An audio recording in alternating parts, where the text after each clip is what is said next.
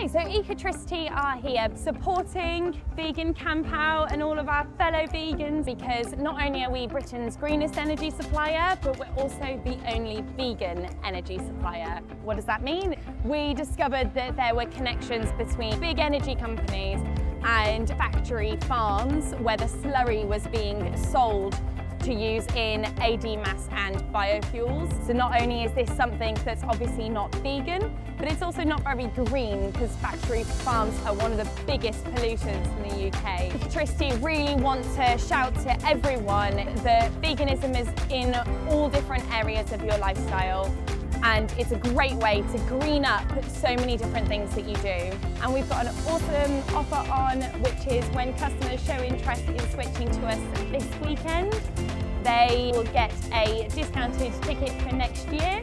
And then anybody else that wants to switch to us, more than welcome to with a donation to Viva or the Vegan Society.